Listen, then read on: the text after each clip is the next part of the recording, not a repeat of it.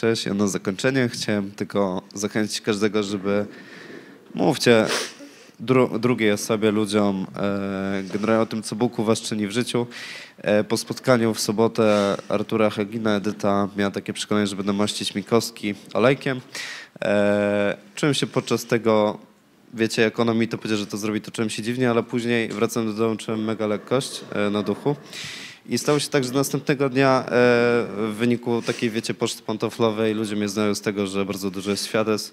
Przyjechała koleżanka do mojej mamy z innej miejscowości, poprosiła modlitwę, powiedziała, mąż się do mnie nie odzywa, e, no i generalnie źle. E, ja powiedziałem, zacząłem jej głosić i minęły tak godziny głoszenia i, i, i świadectw. Ona powiedziała, jak głosisz, to czuję ogień. I ja mówię, tak bywa czasami.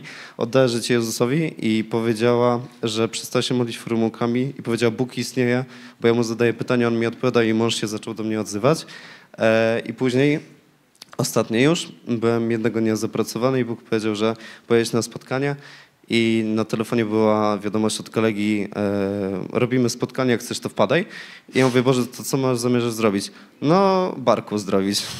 I e, była tam e, ob, e, taka obca osoba, której nie znałem, też odda życie Jezusowi, no i chyba problem z barkiem zniknął, bo e, generalnie było wesoło i do każdego było jakieś słowo, także owocny czas. Chwała Bogu. Amen.